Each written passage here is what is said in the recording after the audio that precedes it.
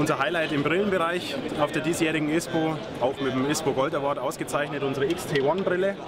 Das Besondere an dieser Brille liegt nicht am Glas oder äh, am Strap oder wie man es bei anderen Brillen oft kennt, an dem, an dem Anti-Beschlagssystem, sondern wir haben wirklich am Rahmen gearbeitet und wir können auch bei einer Brille jetzt das erste Mal von einer Anpassung an das jeweilige oder speziell an, an dein Gesicht sprechen.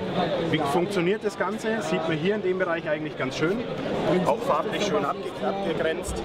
Die äußeren Bereiche sind abgekoppelt vom restlichen Rahmen. Das heißt einfach, ich habe hier auf der, äußeren, auf der äußeren Seite ein deutlich weicheres Material, was sich viel besser an die Gesichtsform anschmiegt und dadurch, dass es getrennt ist vom restlichen Rahmen, sich auch deutlich besser an jede Passform oder an jede Gesichtsform anpasst.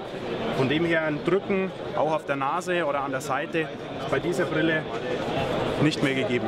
Wirklich unsere, unsere Neuentwicklung für nächstes Jahr und auch ausgezeichnet mit dem ISPO Gold Award.